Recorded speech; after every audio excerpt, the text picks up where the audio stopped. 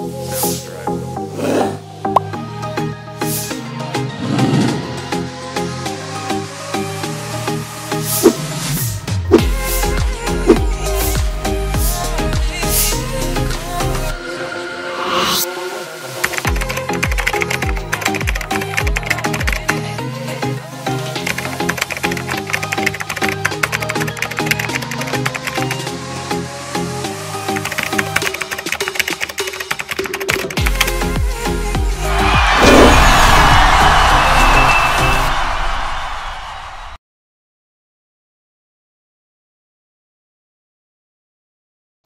Hello everyone, welcome to EduHunt video lecture series.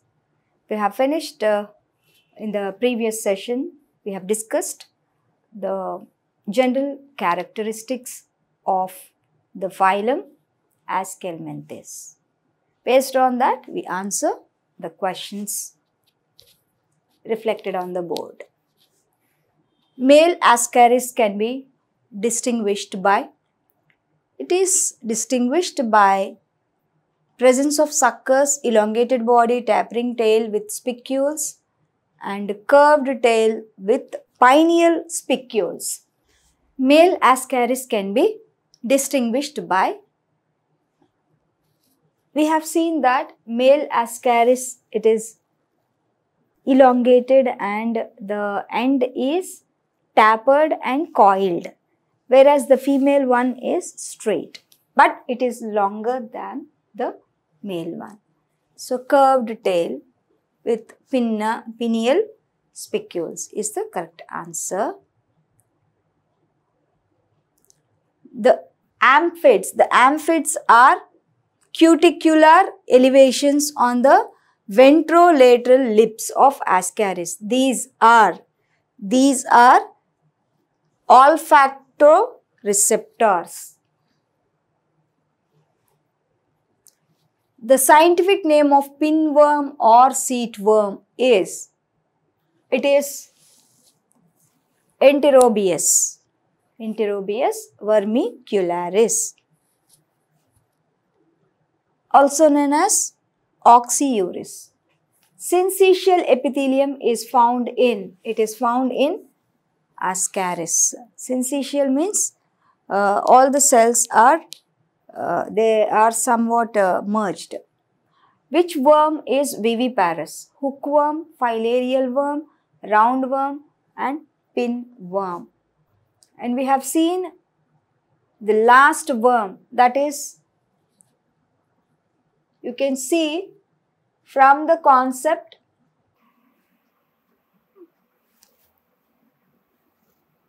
that and viviparous that is the as i mentioned that these animals these nematodes without laying eggs they give birth to young ones that is dracunculus medinensis called serpent worm or they are serpent worm or guinea worm. These are the these are actually the viviparous worms of the Aschelminthes.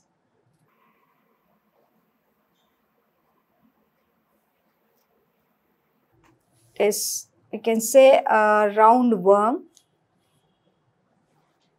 Identify the male roundworm in diagram mentioned below.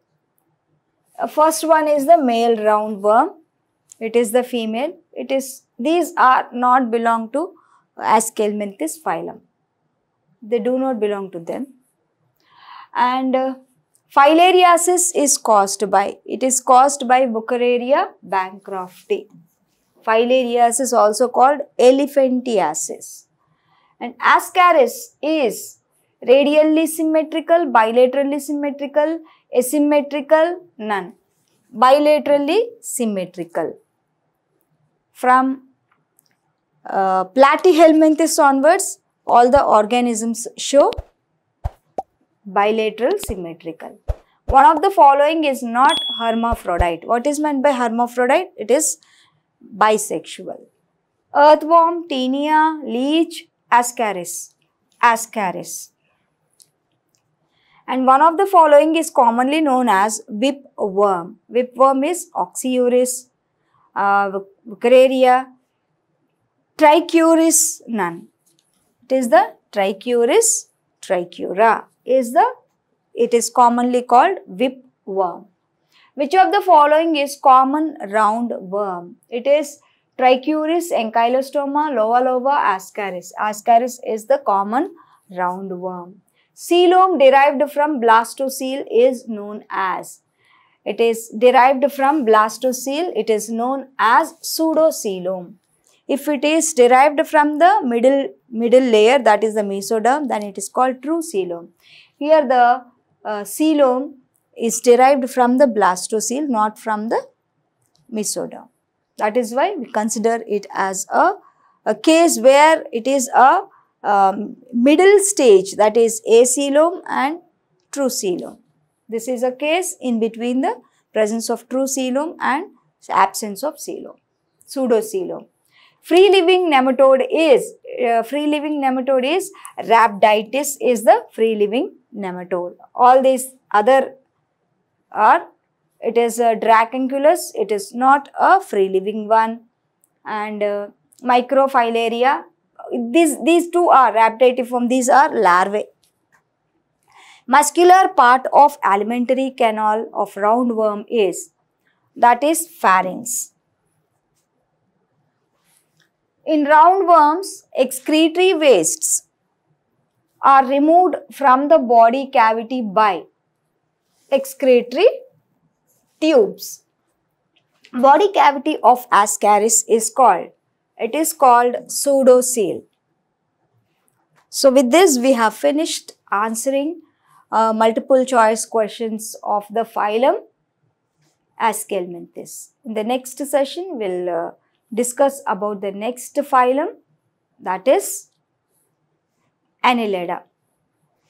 In the Aschelminthes, the important features are presence of pseudocoelom and uh, mostly direct and indirect development and determinate development with spiral cleavage is common and male and female individuals are different. That is both male and female individuals show these are prominent they show different features. And we can differentiate male with female one.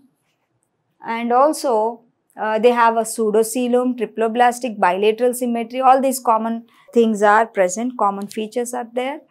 And uh, what we say, there is organ level organization, no other important features are there. And usually these are called uh, round worms, true worms are there, round worms and uh, hookworms, pinworms, seed worms and the important one that is elephantiasis causative organism, Wuchereria bancrofti that is called the it is the uh, causative organism and a digenetic parasite. The primary host is the man and secondary host is female culex mosquito. So these are the important features of the phylum Aschelminthes. I hope you have understood well and if you learn the examples uh, twice, thrice or more than uh, three times, you will remember the examples with the common names and their larval forms and the uh, disease what they cause. Uh, all the best. Uh, perform well in your exams.